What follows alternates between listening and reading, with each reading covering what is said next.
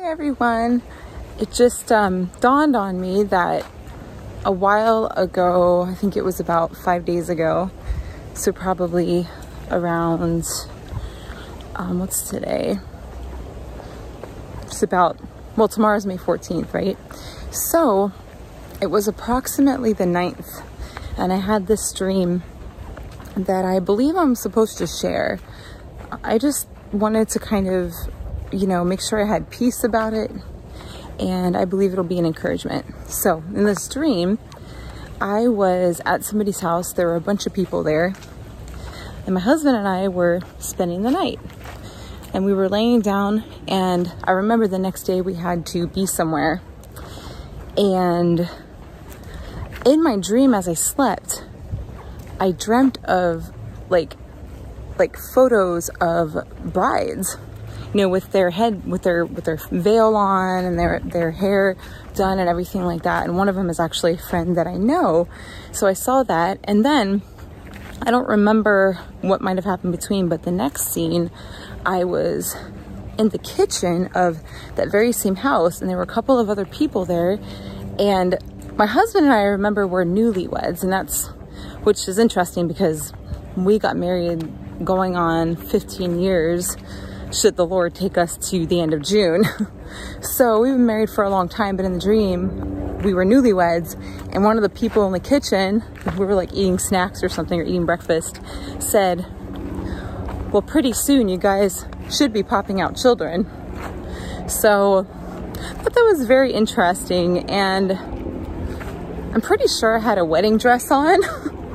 so for people that are rapture watching, I'm pretty sure you understand what the Holy Spirit might have been trying to say. Obviously, you know, a wedding, like dreaming of, you know, brides with their bridal, you know, attire on. Um, you know, my husband and I had just gotten married, and then they're saying we're gonna pop out, we should be popping out children soon. And I'm not like, there's no way I'm pregnant, and we haven't been trying. I mean, if it happened, then we would roll with it. But um, I believe it was pointing to a spiritual birth. So babies, you know, mean a new beginning.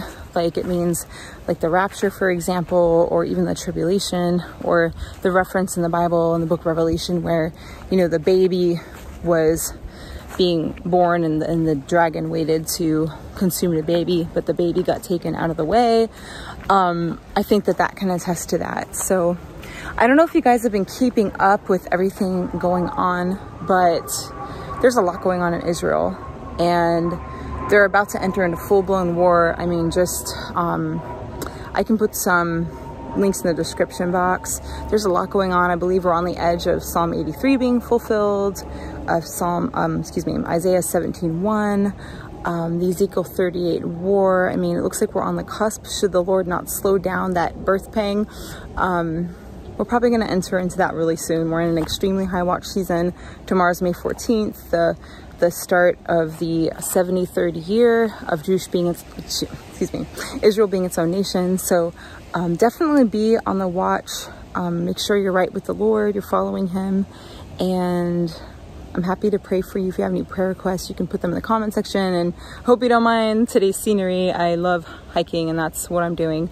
So, um, but hope that encourages you. And I truly believe we are going to fly really soon. So have a blessed day. And one more thing, because I frequently forget eh, to mention everything that I, you know, wanted to or was on my heart or I felt led to. And uh, what I wanted to talk about was what might be the actual second Passover based on the Enoch calendar. So I know it's hard to know exactly which calendar is correct. You know, do you just go off of the harvests and the new moons, the biblical new moons? Uh, do you use the Enoch calendar? Do, I mean, there's a lot of different calendars. Do you use the Torah calendar?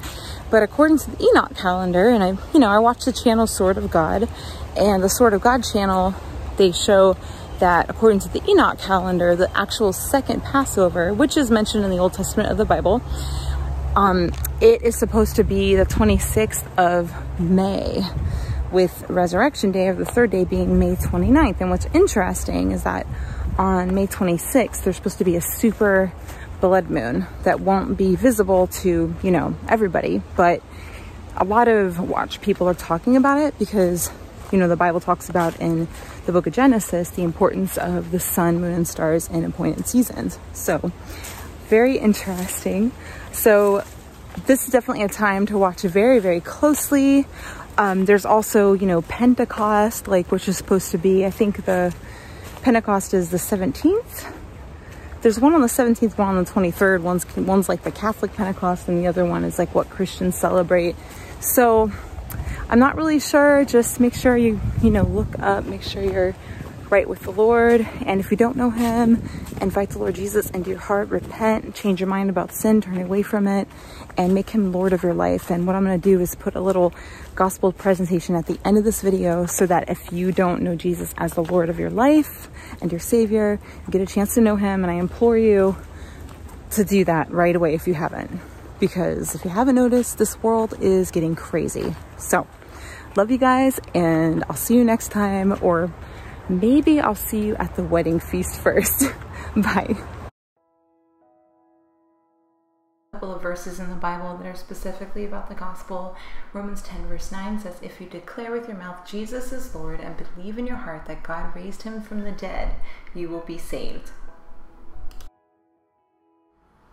John 14, 6 says this Jesus said unto him, I am the way, the truth, and the life. No man comes unto the Father but by me. Jesus is the only way to the Father, and don't let anybody else tell you otherwise. He's the only one that lived a, a, perfect life and yet never sinned. And that's what the Bible tells us. And that's why he was able to give his life on the cross as a perfect sacrifice and atonement for those of us who would call upon him. 1 John 1 9 says this If we confess our sins, he is faithful and just to forgive us our sins and to cleanse us from all unrighteousness. And that is 1 John 1 verse 9. And the last scripture I'm going to share on this video is 1 Corinthians 15, verse 3 through 4. Christ died for our sins according to the scriptures, and that he was buried, and that he rose again on the third day. So there you have it, the crux of the gospel message. So what you can do is right where you are, you can invite him into your heart, and you can just pray a simple prayer like this, but you have to mean it with your heart. You can you can say, Father God, I ask you to forgive me of all of my wrongs. I thank you for sending your perfect, sinless Son, Jesus Christ, to die on the cross for my sins. Jesus, I ask you to come into my heart and to come into my life. Help me to turn away from a life of sin and to live for you. In your name, Jesus, amen. And if you pray a prayer like that, then you have a place in heaven. Now you do have to mean it with your full heart and you do there is a certain amount of there is a repentance which means a turning away of a life of sin. And once you give your life to Christ, you are his, you belong to him. Now the the some next steps would be to get a Bible, you know, like maybe the American Standard Version or New International Version. Some people don't like that version, but it's at least pretty simple. You can start in the book of Matthew in the New Testament. Matthew, Mark, Luke, and John are great starting points.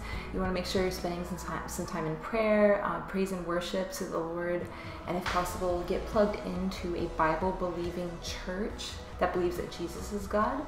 Uh, fellowship, even if you have to go online um, and do it, uh, or you can maybe join a Bible study. Um, it's not that the works create the salvation. It's just that doing those simple disciplines, it just helps us as as believers to stay stay full of His Holy Spirit and to stay close to Him because that's really important in the days that we are in to stay close to the Lord as much as possible. Well, that is it for now. I want to thank you guys for listening. I hope that this video has blessed you, and I hope that you have a wonderful rest of your weekend and into this following week. Bye for now.